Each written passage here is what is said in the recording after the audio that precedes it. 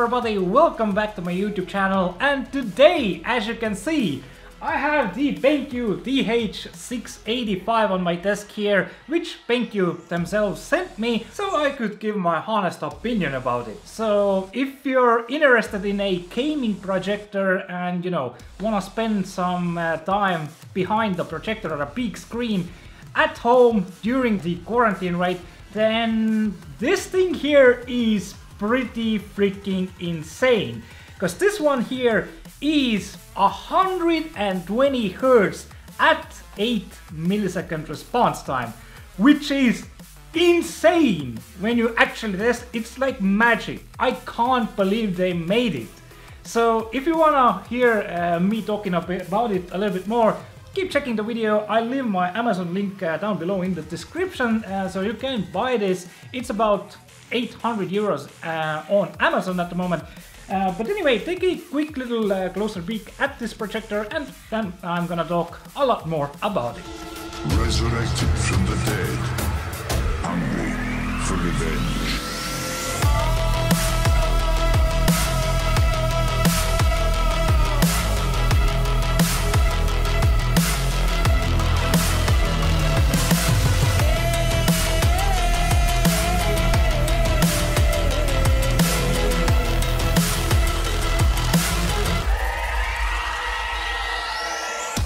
So where to begin with my review here? I mean, there's uh, already a couple of reviews up on YouTube about this projector, right? But this one here is going to be, you know, my experience with it, right? And uh, I guess um, I should state that I have used uh, big LCD TVs as my main uh, main PC screen for well over a decade now. Uh, I started with a 37 inch LCD uh, TV back in 2007, used it for like 4 years, switched it out to a 52 incher, used that for around 4 years, and then went all the way to 75 inches, which I used around 4 years as well. And I mean, the experience, you know, playing games was absolutely magnificent, but the best that TVs could do was 36 milliseconds response time at 60 Hz. This one here brings me 100 to 150 inches, uh, depending how far from the wall the projector is, at 120 Hz and 8 millisecond response time, 8.3 if I'm to be precise, which is absolutely insane. And yeah, I couldn't really get I couldn't really believe it until I actually hooked it up and used it on my wall here. Uh, of course, I still don't have a decent projector screen because they tend to start at around 60 euros, which is a really cheap one, up to around a thousand euros or something like that, right? So I'm gonna mm, maybe let my organs recuperate and then sell, harvest one and sell them to buy a decent projector screen as well. But what I found out was that I could uh, go to my local uh, Bauhaus here and bought some cheap 18 euro wallpaper and just hooked it up uh, via some uh, nails in the wall. And it works absolutely fine, right? And um, yeah, after setting it up and drawing uh, some games out, I was just absolutely stunned. Because uh, when launching something like Counter-Strike, right, a uh, proper, you know, competitive first-person shooter, you know, which really needs a high re uh, refresh rate monitor to really enjoy the game and really get uh, good at it, right? Well, at least it's preferred, right? And uh, I, I, was so stunned. The uh, movement is so precise when moving the mouse uh, at 120 Hertz, right? At 8 millisecond response time.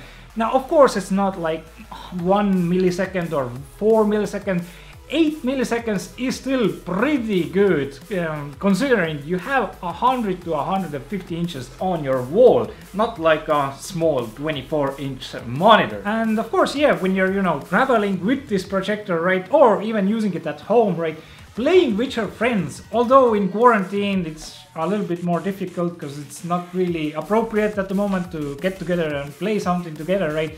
But when you know once the uh, lockdowns have been lifted, right, you can invite all your friends over and play, you know, split screen, uh, anything you want, right? And as it's 100 to 150 inches of screen, it's a lot easier, a lot better uh, to play like that because you have so much more, you know, viewing uh, space for your uh, own enjoyment, right? And it's a lot of fun playing, you know, video games like in, in split screen mode, or you know, whatever game that you you can play with multiplayer with your friends, right? So that's also another great thing to uh, have with a projector. Uh, but anyway, let's quickly cover some other features that this uh, projector has as well. So first of all, I do like the big manual zoom and focus wheel on the lens. Uh, you can really easily fine tune the image size and sharpness via the wheels, so it uh, fits exactly on whatever surface you are throwing it at, right? And um, yeah, there are also three height adjustable legs underneath the projector and screw holes to mount it um, wherever you want to pretty much, right? And um, yeah, next up there are some nice and easy quick access buttons on top of the projector if you ever might need them. Uh, you also get a very decent remote along with the projector, although the rubber buttons and design feel a bit cheap. Uh, it it just looks something that you'd get when buying hardware back in 1995. Other than that, there's a decent amount of inputs behind the projector and I do like that there are at least two separate HDMIs. Uh, so you can hook your PC into one of them and your choice of console into the next. Quick question is, why is there a VGA cable uh, that comes with the projector but not a HDMI cable? Anyway, uh, as it is supposed to be a TV replacement, I guess the absence of an optical out was a bit of a shocker to me, uh, but I just hooked optical out to my PC and PS4 instead of the projector.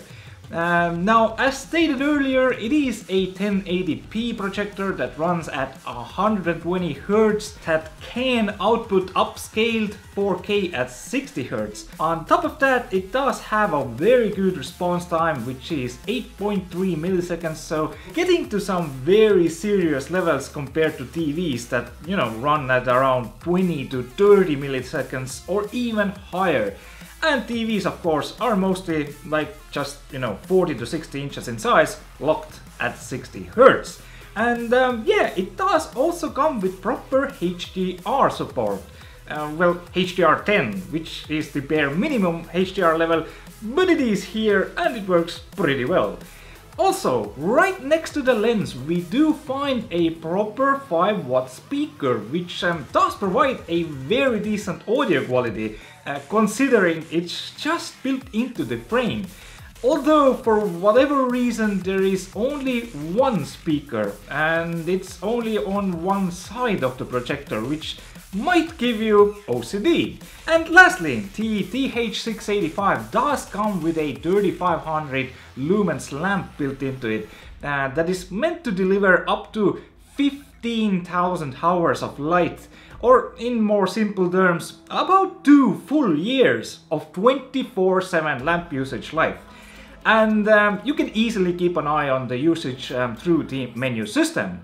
And um, yeah, quickly covering the software side of things, the menu itself, it has a lot of good features going for it. Uh, you even have a setting that asks what color your wall surface is, so even if you don't have a white, gray or black wall, you can get a pretty good picture even on off-color surfaces.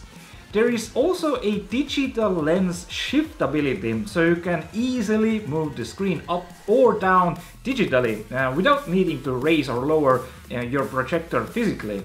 And you can set the angle, the tilt, and of course adjust colors as you wish. All in all, I felt the menu was very well thought out and uh, very easy to navigate through with the remote, so very well done job by BenQ here. And uh, yeah, what I could also uh, find out was that uh, it was perfect for something like PlayStation 4, right? Uh, console gaming at 1080p. And all of those games were just absolutely amazing to play, like Uncharted 4, which I finally got down, sit down behind my desk here and played it uh, through from beginning to the end. Uh, because when it launched in 2016, uh, I, somehow I didn't play it through and I said to myself, okay, when I get enough funds or grow another organ, extra organ somehow, and I can sell it, you know, then I can get a proper big screen. and I'm gonna fully enjoy it and play it through then. And that's what I now finally did.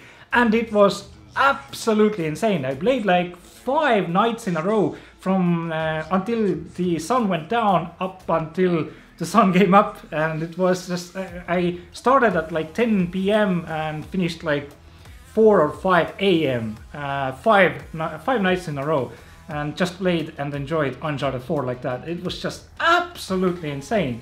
So all kinds of games like that on this projector is just absolutely incredible. And of course, it is a HDR projector, so there's there's more, there's more uh, coming with this projector. So uh, the HDR is of course the most minimum HDR10 support, right? But still, you know, uh, looking at the difference in Uncharted 4, there was definitely a clear difference uh, in, you know, brightness quality. And I really love that it has HDR. So, you know, using uh, this projector with uh, console games that support HDR was just absolutely uh, perfect. Of course, you can do it in Windows as well, but it's a little bit uh, uh, it takes a little bit more effort. You have to enable and disable HDR all the time in Windows because uh, you know you can't use Windows with HDR enabled. It's something on Microsoft side to fix. They still haven't done it. Now, another thing to mention is, uh, of course, as it is a projector, right? It does make a little bit noise and it does have two uh, ventilators built into it. Uh, I think they were like 60 or 80 millimeters, I think 60 millimeters inside here, and they are there to you know cool the lamp down. Uh, I've checked some uh, you know feedback from other people around, right? Uh, for the TH585, uh, which was the previous model, and many people said that the noise uh, coming from this projector is one of the quieter ones, I mean, I can't really, you know, say if it's true or not because I've never used a projector before. Uh, if you count out, you know, a few times here and there when whenever I've been into a friend's house, you know, and they have a projector, right, uh, somewhere up in the ceiling. So I'm re not really focusing on the noise level, right. Uh, but I did a small noise test for you guys, comparing it to a PlayStation 4 uh, that is, you know, playing Uncharted 4 at full speed, right? So uh, as noisy as a PlayStation 4 gets uh, versus this one 24/7, right? Because you can't, re- it doesn't uh, regulate the fan ventilator speed, right? The fan speed. So the fans are noisy all the time, which is kind of a bummer. But anyway, I did a small test for you guys, so listen it uh, here.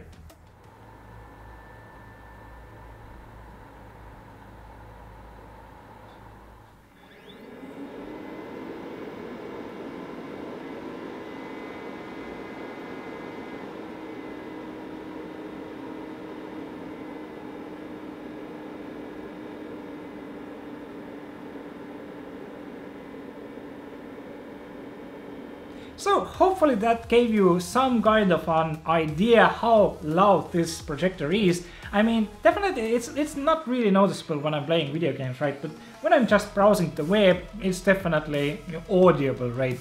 So, I mean, hopefully they'll figure something out with projectors in the future, right? Uh, but as they've uh, never figured it out uh, up until this day, right?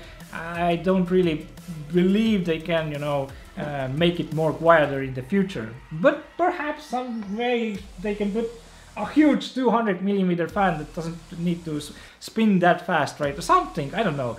Anyway, uh, that's the noise level. So that about covers all of the uh, different features that the projector brings on your table or your ceiling or wherever, right? For around 800 euros. But there's definitely more questions, I'm pretty sure. So let's um, talk a little bit more about gaming and gaming at 1080p.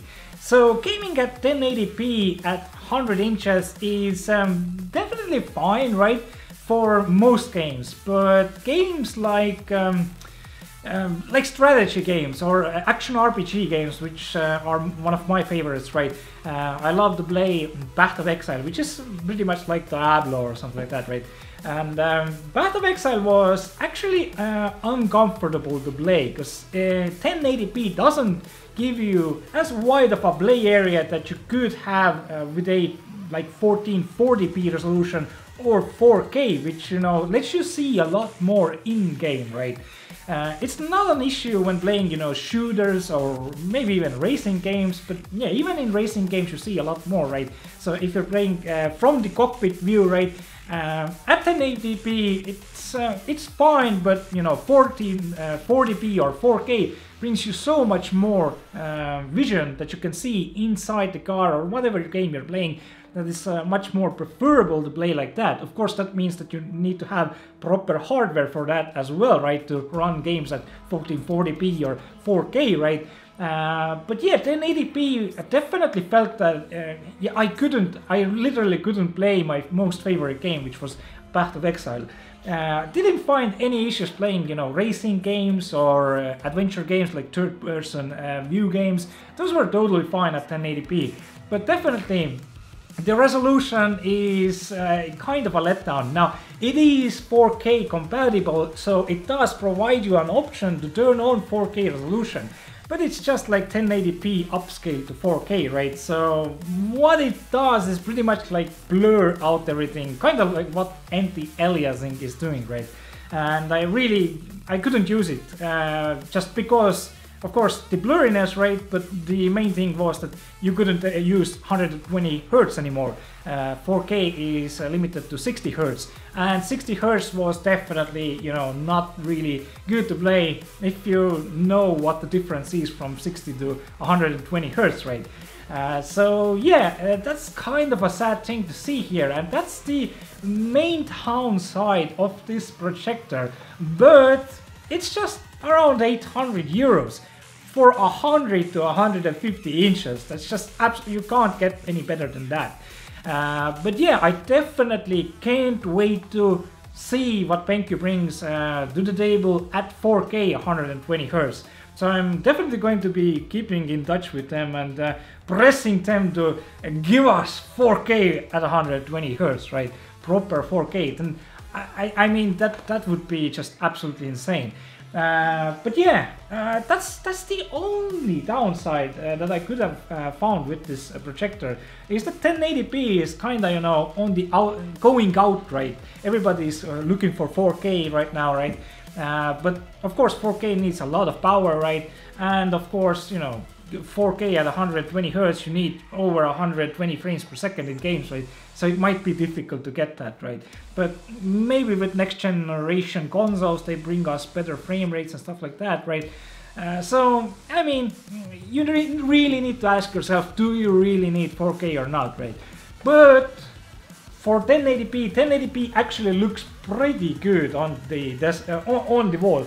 Uh, you you can't really when watching movies and uh, playing games, right? You can't really tell that it's 1080p unless you start playing games that you know really utilize the huge resolution, right? So you see a lot more uh, on your screen, right?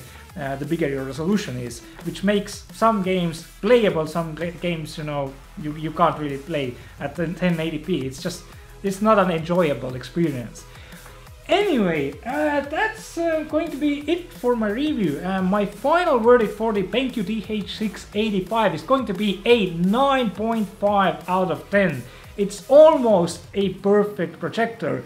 If it could be a little bit quieter, and maybe even noiseless projector, or have 4K in it and be a little bit more expensive, then I would have uh, easily given it a 10 out of 10.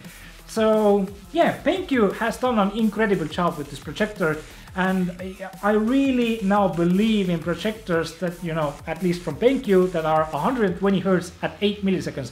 I know if I'm looking at a projector like that, that's totally, totally fine to play uh, something, comp some competitive games like Counter-Strike or Call of Duty, uh, Warzone or something like that, right? Or racing games.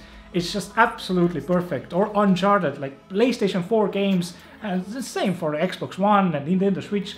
Those games are absolutely insane on this projector. Of course, they're not gonna be 120 hertz, but still, they're absolutely insane to play on this projector. So anyway, that's going to be it for my quick little review, quick little review. Uh, if I left something out, please leave a question down below, I'll be sure to answer them. And if you like the video, leave a like, and if you haven't subscribed, maybe do so.